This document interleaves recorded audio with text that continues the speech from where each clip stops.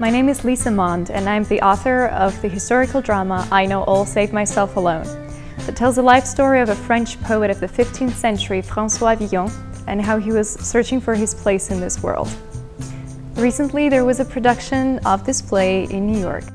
In the last scene, it was so touching that the audience was crying together with the actors who could hardly handle their lines on stage.